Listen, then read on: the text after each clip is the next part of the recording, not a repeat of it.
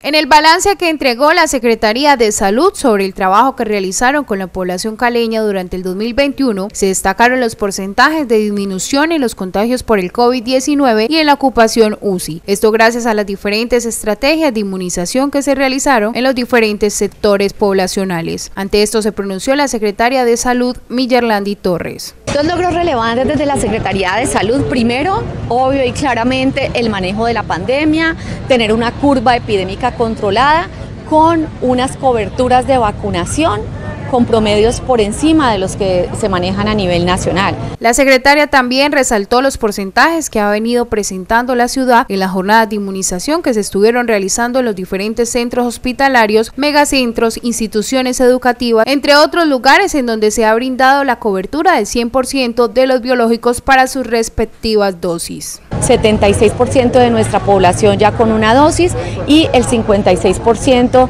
de nuestra población con esquemas completos, promedios por encima de lo que maneja el, eh, el, país. Con estos resultados, la Secretaría de Salud de Cali mantiene alerta ante las variantes del COVID que ya se han encontrado a nivel local y nacional, la Delta como posible dominador en la capital vallecaucana y tres casos de Omicron en Cartagena y Santa Marta. Por ende, la administración local continúa con el llamado a toda la población caleña para que finalice su esquema de vacunación contra el COVID-19.